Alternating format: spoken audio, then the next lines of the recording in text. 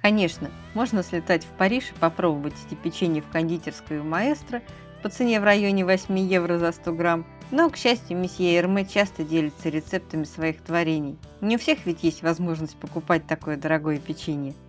Зато руки есть у каждого, а продукты в ближайшем супермаркете. И можно порадовать себя и своих домашних и сделать это печенье дома – если любите нежное, хрустящее, тающее во рту шоколадное песочное печенье с кусочками шоколада, обязательно сделайте их. Тем более, что готовить такие печенья проще простого. Просто следуйте рецепту, и все обязательно получится. Для масляной смеси берем очень мягкое сливочное масло комнатной температуры. Чтобы печенье получилось по-настоящему вкусным, берите хорошее сливочное масло.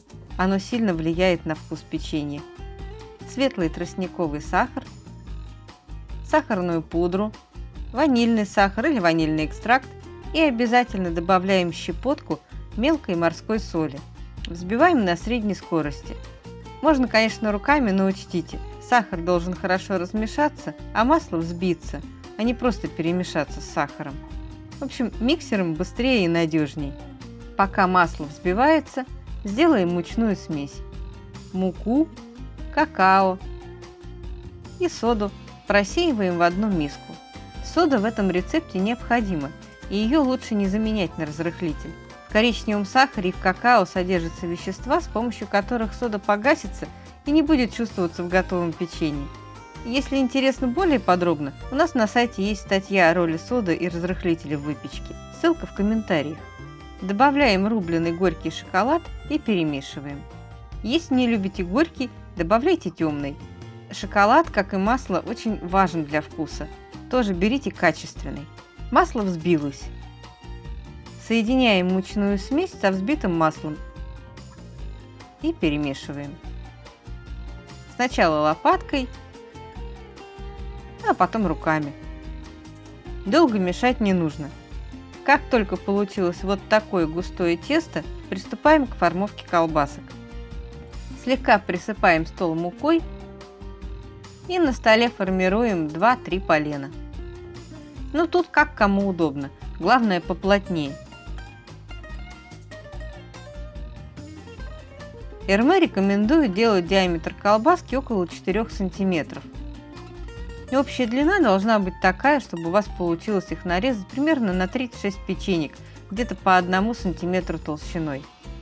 Заворачиваем в пищевую пленку – чтобы сделать поленца более идеальной круглой формы, я их дополнительно подкатываю на столе, уже завернутыми. Убираем в морозилку на час или на 2-3 часа в холодильник. Разогреваем духовку до 180 градусов и вынимаем тесто из морозилки. Теперь надо работать быстро, чтобы тесто не растаяло.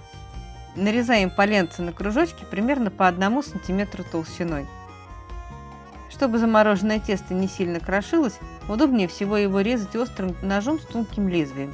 Причем резать не пилить, а надавливать и отрезать одним движением. Если при нарезании оно все же разломилось или раскрошилось, ничего страшного. Просто соберите кусочек воедино и слегка сдавите к центру. Выкладываем их на противень с пергаментной бумагой. Чтобы печенье не слиплись, не забывайте оставлять между ними промежутки. Во время выпечки печенье немножко увеличится в размере. Кстати, такое замороженное тесто очень хорошо хранится в морозилке около месяца. И это очень удобно.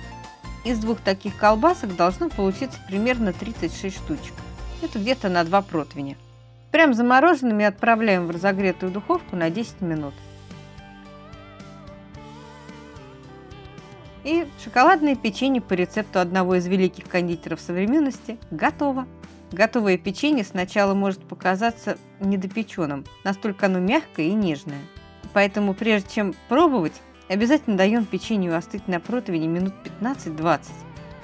Потом перекладываем на решетку, ждем, когда полностью остынет, и только тогда пробуем. Оно очень шоколадное и невероятно вкусное. Хоть с молоком – хоть с чаем, хоть с кофе. А еще его можно красиво упаковать и подарить в качестве презента. В закрытой банке такие печенья будут как свежеиспеченные еще 2-3 дня.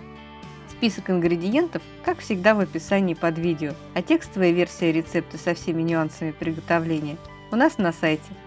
Вкусных вам печенек и до встречи на канале!